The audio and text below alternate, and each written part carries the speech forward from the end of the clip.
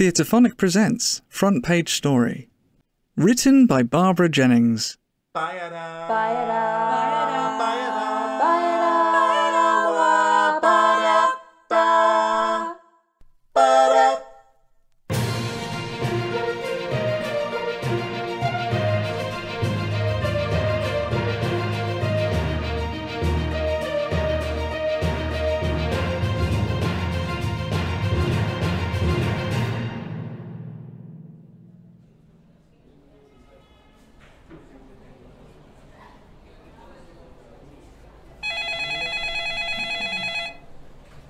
Gazette office, Abby Fletcher speaking. Yes, the correct solution will be in this week's edition. Yes. With an apology for the error. Thanks. Bye. Abby, can I have a word? Have a seat and tell me what's been happening in this housing story. Well, I went to see Mrs. Steele, who seems to be the driving force. She would be. Nice enough woman, but she collects causes like other people collect china ornaments. She's impressively thorough, Frank. It was more like being briefed by her than conducting an interview. She has a list of all the new housing built in the town in the past 15 years, categorized by size and price, and details of the housing waiting list for the same period. She's calling the campaign MASH. As in bangers and. Yes, standing for more affordable small homes. She thinks the planning committee isn't making that enough of a priority, and there are a few places she says are prime examples, especially a development by Jessamine Homes on the eastern edge of town. Another one. The sort of houses my wife likes looking at in estate agents' windows. Dream on, I say to her. You don't get three bathrooms and parking for six cars and an editor's salary. Mrs. Steele told me the original plans included a block of social housing which has never been built. And she claimed the developers shouldn't have got planning permission in the first place because that land had been mentioned in the council's planning strategy as suitable for a new health centre and minor injury unit.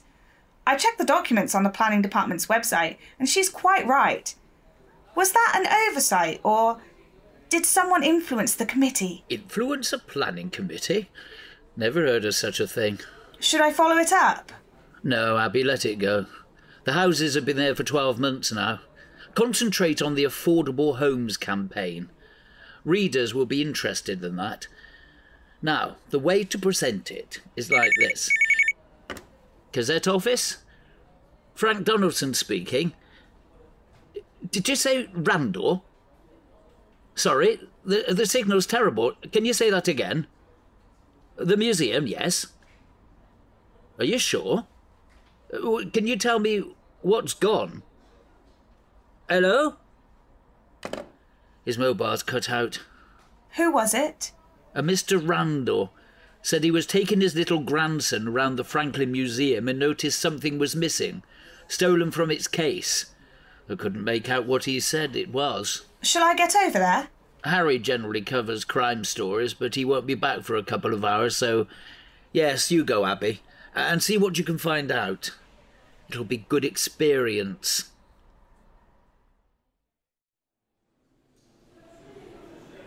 Thanks for making the time to see me, Mrs. Dudley. I'd like to get the museum's angle on what happened. An exhibit was stolen during opening hours, and the police are dealing with it. That's all that needs to be said. But there'll be a lot of public interest. I just had a quick word with Mr. Randall. Too quick, really.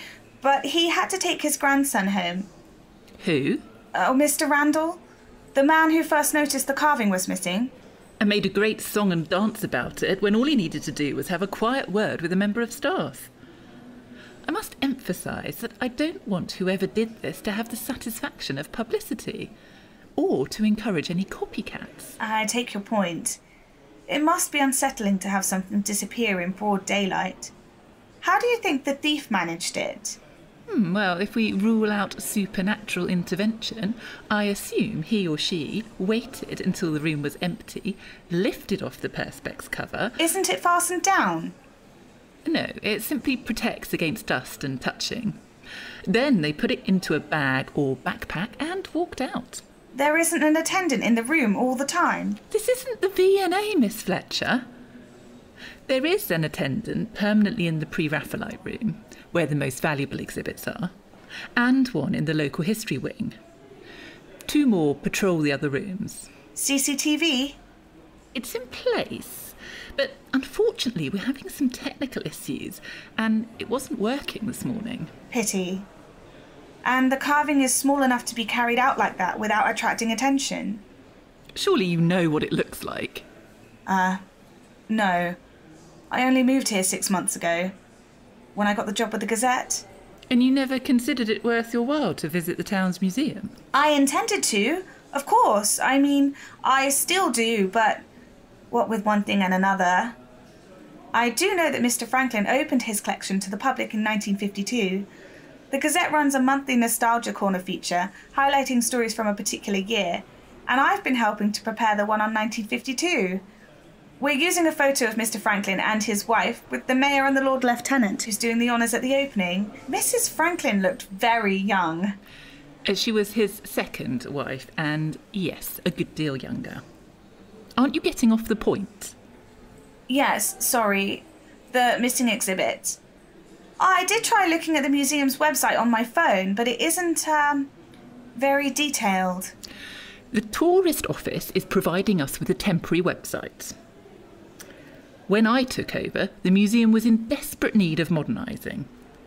A major refurbishment and a range of merchandise were my first priorities. The website will be next. Of course, you can't do everything at once. Perhaps you could describe the exhibit. Mr. Randall said it's a fir cone and everybody's favourite. It's a carving of a pine cone with the scales open. Pleasing to the eye, but a dust trap, hence the cover. Carved in lime, which is a relatively lightweight wood, and about 25 centimetres high. It was part of Nicholas Franklin's original collection, and I gather it's always been popular with the public. That's why it's one of the images we use on our merchandise. And just checking my notes from Mr. Randall, it was made by an artist called Ruta. No, you're confusing the artist and the title. The carving's called Ruta. It's a woman's name from the Hebrew for friend. We don't know why this particular Ruta was represented by a pine cone, but they've been used symbolically since ancient times, standing for fertility or eternal life, for example. Uh, right. Good job I checked. So, who was the artist? Gerhard Blum. Should I have heard of him? Probably not. He was Austrian, very talented, but died relatively young during the Second World War. His career hadn't really taken off. Could you let me have a photo? Of the carving, I mean, not Gerhard Blum. Speak to my secretary. She'll make you a copy of the catalogue photograph. And I repeat, Miss Fletcher, I would urge the Gazette not to make a big story out of this. It isn't the sort of publicity the Franklin Museum needs.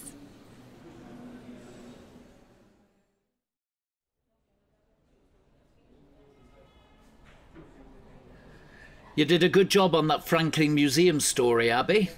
All the facts clear and succinct. Plenty of comments from local people. Readers like that. Nice ending, too. The motives of the audacious individual who spirited away an object loved by museum visitors through three generations remain a mystery. I was quite pleased with that sentence myself. I'd have given you the front page if our MP hadn't decided to visit the far reaches of her empire. You can always tell when an election is in the offing. She gets an overwhelming urge to be photographed with small children and rescued hedgehogs. But the owner likes her to have the front page whenever she's here. You know, Abby, the owner wasn't that keen when I hired you. Frank, he said, if you must take on someone with no experience, at least get a local. Look, Mr. Bennett, I said to him, I've been the editor of the Gazette for nearly 20 years, and I reckon I've got a nose for a good reporter, as well as for a good story.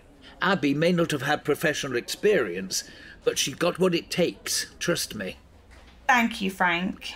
How's the affordable homes story going?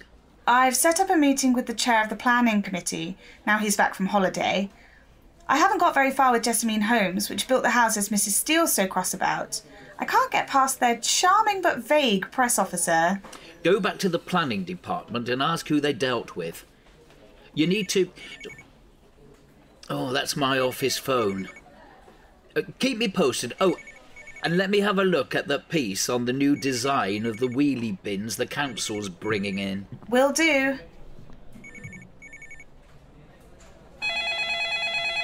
Gazette office. Abby Fletcher speaking. Good morning, Miss Fletcher. I, I just read your story about the museum. Yes. Do you have any information? Uh, in a way, uh, at least I have the carving. You stole it, No. but you have it now. I'd like to talk to you about it. Could we meet? Uh, of course. Come to the Gazette office. It's in Bell Street. No, I would rather meet somewhere out in the open. Don't be offended, but I want to be sure the police aren't with you. What about the common? All right. Straight away. If possible. Say in half an hour. At the bench by that clump of particularly fine field maples. If the bench is occupied, I'll wait nearby. Look for a middle-aged man with a small grey beard. Okay, but you haven't told me your name. Hello? Rung off. Anyone know what a field maple looks like?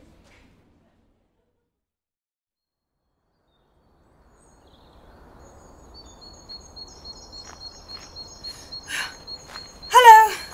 Hello, Miss Fletcher. I'm sorry to take you away from the office like this. No problem. Great view up here. I still don't know your name, Mr. Uh, please call me Conrad. Okay, Conrad. Do you mind if I record our conversation? I would prefer not, if you don't mind. Right. I'll stick with my trusty reporter's notebook. So, I don't suppose you have the carving with you. No, but I can assure you it's safe. Can you tell me who took it? I did. But you said on the phone you didn't steal it. No, I didn't steal it. Conrad, this isn't making much sense. Forgive me. I, I'm a translator, and years of finding the exact words to convey a meaning has made me overly pedantic. I took Ruta, but I did not steal it, because you cannot steal your own property. I'm not with you. Ruta belongs to me. Conrad, that carving has been in the Franklin Museum since the 1950s. Unless you're a remarkably sprightly pensioner, you weren't even born then. So I'll go back to the office and leave you to your fantasies because I'm wasting my time here. Wait, wait, Miss Fletcher, please. I'm explaining this badly. Ruta belongs to me in the sense that it belonged to my grandparents and was stolen from them. By the museum? No, much earlier, by the Nazis. May I tell you the story? Go ahead. My grandfather was an architect in a small German town near the Swiss border. My grandparents were educated, cultured people, not wealthy, but comfortable enough to collect a few fine pieces of art. They had a painting by Kandinsky and one by Sonia Delaunay. And in 1931, they bought a carving from a promising young Austrian artist called Gerhard Blum. Ruta. Exactly. I said their life was comfortable, but that changed when Hitler came to power because they were Jewish. There had been anti Semitism before, of course, but now it was policy. As things became increasingly unpleasant, they decided they ought to emigrate for the sake of their only child, but they were afraid of drawing attention to themselves because they had both been politically active on the left when they were young. Eventually, my grandfather confided in a Gentile friend who ran a large greengrocery business, and the three of them were smuggled over the Swiss border in a delivery van. To the end of his days, my father could not abide the smell of cabbages. I suppose they couldn't take their belongings with them. There were Nazi sympathizers everywhere, including in their apartment building. They had to appear simply to be going for a walk. Fortunately, it was a cool day, so it did not seem strange that they all wore their winter coats. My grandmother was a resourceful woman. She took her jewelry, what money they had to hand, their papers, including the deeds to the apartment, and sewed them all into the linings of those winter coats. That's amazing. What happened when they got to Switzerland? They stayed put for a while. But their goal was to get to Britain, where my grandmother had cousins who could help them settle. They sold some of the jewelry and managed to make the journey. Then war broke out. And in May 1940, my grandfather was interned as an enemy alien. What? But he was a refugee. You have to consider the authorities' viewpoint. He might have been a spy in disguise. My grandfather never resented it compared to what he knew or guessed was happening at home. Anyway, he was interned for eight months, then reclassified as of no security risk, and then released. But it was yet another trauma for my father. And what was your father like? He was not cold, but very reserved. He, he was a lawyer, and all his passion went into getting justice for others. My mother had also been a refugee, but she responded quite differently. She embraced every moment that she had been spared to enjoy. Didn't your family want to go back to Germany after 1945? No, the memories were too painful. My father went back briefly just after the war. He was still only in his teens. He, he had the deeds to their apartment, but no one was interested. The building was in ruins and scheduled for demolition. The greengrocer was still there and very pleased to see him. He told my father he had walked past their building the day after they'd left and had seen men in uniform carrying out paintings and boxes. Did you ever hear of the paintings again? My father became quite obsessed with them as he grew older. He got in touch with people who specialized in tracking down art looted by the Nazis, which had happened on an industrial scale. Eventually, he traced the Kandinsky and later the Delaunay. He got them back. Not physically. They had both ended up in galleries, and my father didn't want to remove them from public view. But the galleries agreed to acknowledge their history and relabel them as permanent loans from my family. That satisfied my father. And Ruta? He never found any trace of it beyond the illustrated catalogue of the exhibition it first appeared in. My sister and I were not that interested, to be honest, it all seemed so long ago, and we didn't pursue it until after he died. But you did find it. Only by pure chance. I, I wanted to leave London, and I chose to move here because I'd be in easy travelling distance of my sister and both my nephews. I went to visit the town museum, as you do when you're new to a place, and there was Ruta. I can't describe the shock. I thought it must be a very similar work. After all, I'd only seen photographs. But it really was Gerhard Blum's carving. Why didn't you talk to Mrs. Dudley about it? That would have been the sensible thing to do, and I'm usually a sensible man. I didn't even tell my sister. I, I went back repeatedly and brooded about it, and then I became angry.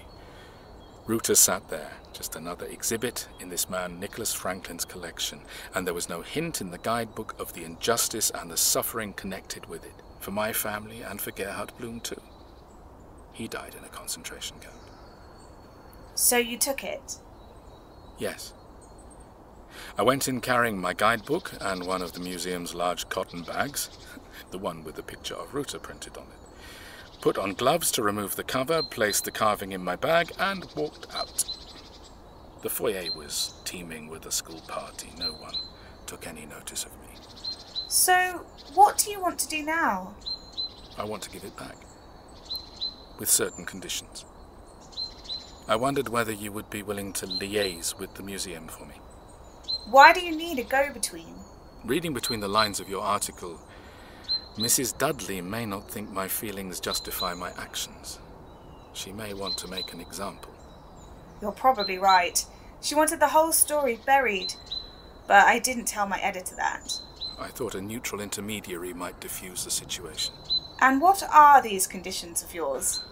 A promise that I won't be prosecuted, and an agreement to acknowledge the carving's past and ownership in the way it's described. Art doesn't exist in a vacuum untouched by history or politics. You must understand, Miss Fletcher. I'm not looking for any personal attention or publicity. Hang on, Conrad. I need my story out of this. You might get me the front page for the first time. Then you will act for me? Yes. Don't get your hopes up too high. I don't think I'm Mrs. Dudley's favourite person. But I'll give it my best shot. Thank you. The big question is can you prove all this? Sorry to ask, but family anecdote isn't going to be enough. Yes, I understand that. Remember those linings in the winter coats? My grandmother also got into them the gallery receipts for the Kandinsky, the Delaunay, and the Ruta. That's how my father could prove ownership of the paintings. And one sleeve contained a handful of photographs, including a family group in their parlor. Blum's carving is clearly visible on a side table. Sounds good. Okay, give me a few days to open negotiations. How do I get in touch with you? I will ring you at the Gazette office. Sure you don't want to arrange a password? Just teasing. I am grateful to you, Miss Fletcher. Call me Abby. I'm on your side now.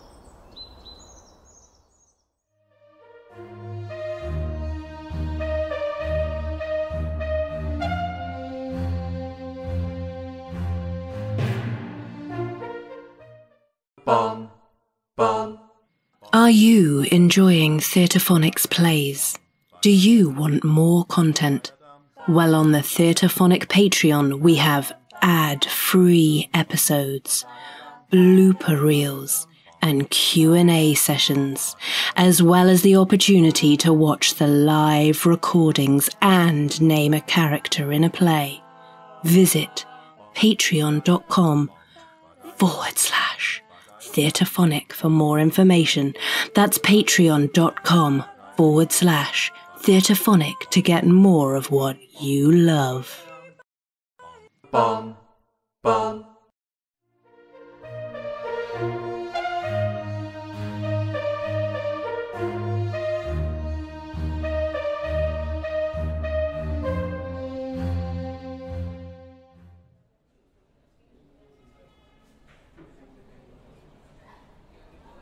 Abby? My office, now.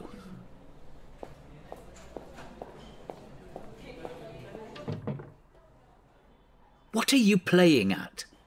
I've just had the owner chewing my ear. Apparently, Mrs. Dudley's complained about you. Typical of her. Don't bother talking to a mere editor first. She says you're involved in this theft from the museum and withholding evidence. That's a complete misrepresentation of the facts. And what are the facts? A man rang me and said he had the carving. And when I met him, he told me it had been stolen from his German Jewish grandparents by the Nazis. He asked me to liaise with the museum because he wanted to be sure he wasn't prosecuted when he returned it. I went to see Mrs. Dudley this morning, but she just shouted at me. Why didn't you tell me all this?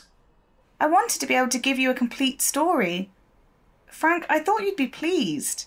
I can't tell you how far I am from being pleased. Didn't you listen to anything I told you when you started? You keep me posted on the progress of all stories, large or small. Nothing happens without me knowing about it. That's how it works on this paper. Did you meet this man here? No. On the common? Who did you tell you were meeting him? Uh, no one. So you went and met a complete stranger, probably a crackpot, and nobody knew where you were? I can look after myself. You think you can, but there are plenty of cranks and weirdos about, even in a town like this, and not all of them are harmless. People who confess to crimes they haven't committed to get attention. Newspaper offices are plagued with them. Frank, I believe him. He has proof. You seen it? No, but I don't doubt it's there. There were paintings stolen as well, which his father traced. That's all a matter of record. Okay, so he can prove his grandparents once owned the carving. Who's to say they didn't sell it again? And just out of interest, did he have it with him? Did you see it? Well, no, but Frank, if you met him. I don't want to meet him. Ring the police. Here, I've written down the name of the officer dealing with the case. Give her all the details. I'm not going to lead the police to him. What you don't seem to understand is that if a paper obstructs the police, it's the editor who ends up in the dock. I thought protecting sources of information was a fundamental principle of journalism. The fundamental principle of a local paper is to stay in business. You don't do that by antagonizing people with influence. So you're just going to kowtow to Mrs. Dudley? I'm going to cooperate with the authorities. Give the police this man's name and phone number. I don't know them. He rang here, withheld number, and he asked me to call him Conrad. Probably not his real name. Well, give the police a description and report anything he told you. I'm not going to betray him. Suit yourself, but don't come crying to me when you're prosecuted. You just said it's the editor who ends up in the dock. It would be if you were on the staff, but if you don't do as I say, I'll hand you your P45, cut you loose from the paper, and you can sink or swim by yourself. Look, Abby, you're doing well here. Don't derail your career on account of some high minded idea about journalistic integrity. Go back to your desk and think about it. Gazette office? Frank Donaldson speaking. Oh, hello, Mr. Bennett. Yes, it's all sorted. Just a misunderstanding by a junior member of staff. I've nothing for you or Mrs. To worry about. Gazette office. Abby Fletcher speaking. It's Conrad. Any progress? Bit of a hitch, I'm afraid. Mrs. Dudley isn't keen to negotiate. She, well, lost her temper. Abby, I've been thinking. I, I shouldn't have involved you in this. I, I shouldn't be hiding behind you. I, I'll go to the police. No, Conrad, don't do that. I'll think of something. Give me another 24 hours.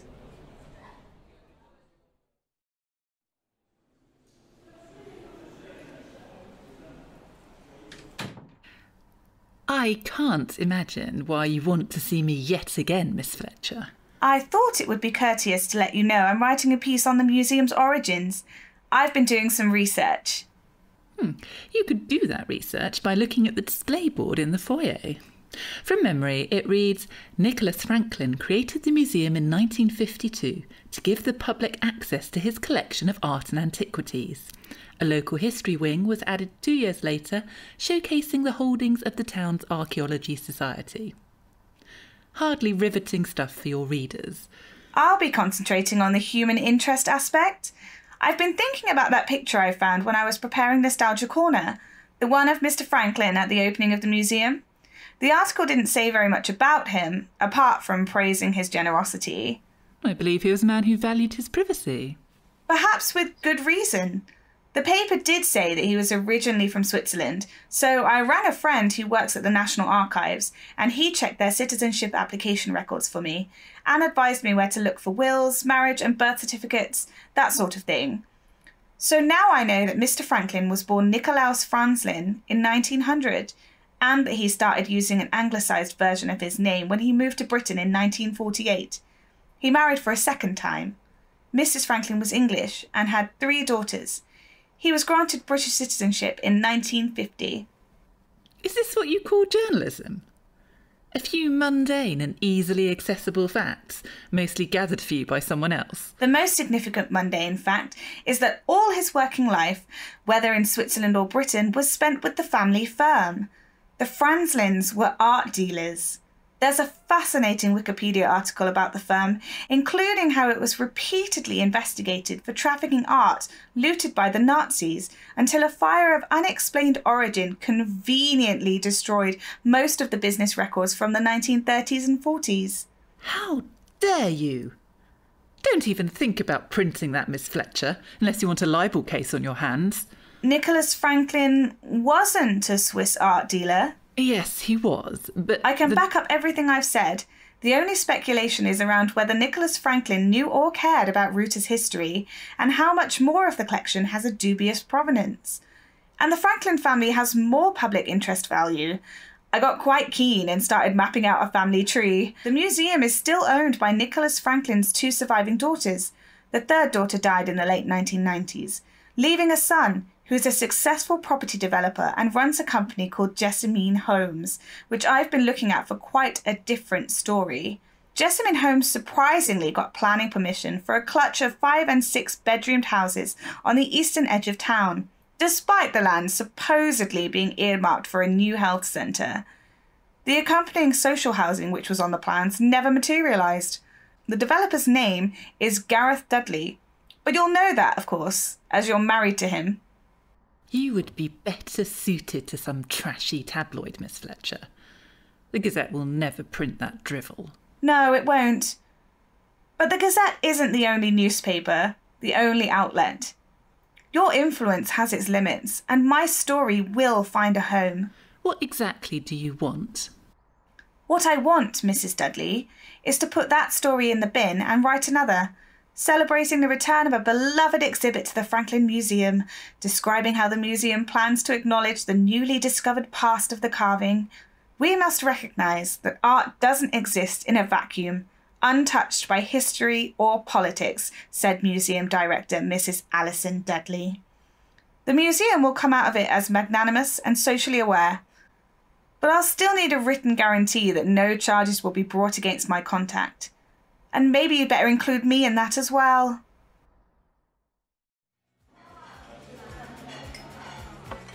I still don't understand how you got Mrs. Dudley to change her mind, Abby. Persuasion, cogent argument, and natural charm. All part of the journalist's toolkit. Looked good on the front page, didn't it? The photo of you two either side of the Ruta. Her smile looked a little uh, forced. True, but she was there. So was the new label on Ruta's stand. Apparently, they're going to put an insert into copies of the guidebook until a new edition comes out. Do you think Franklin knew where Ruta came from? Hard to say. Assuming his innocence smoothed the way with Mrs. Dudley, do you feel the need to find out? No. I'm satisfied. What surprises me is how much interest there's been. I've been invited to give a talk to the town's History Society, and one of the schools has asked me to speak to Year 12 pupils. I'm not sure about that one. I think the youngsters would find me a rather dry speaker. Go for it, Conrad. You have an important story to tell. Are you going to continue calling me Conrad? If you don't mind, I can't get used to the fact that your name's really Nathaniel. Ah, here's our wine. Thanks. A toast then. To Abby and her first front page story of many. And to Conrad, who gave her a subject worthy of the front page. Mmm, that's good. I'm starving. Shall we order some food?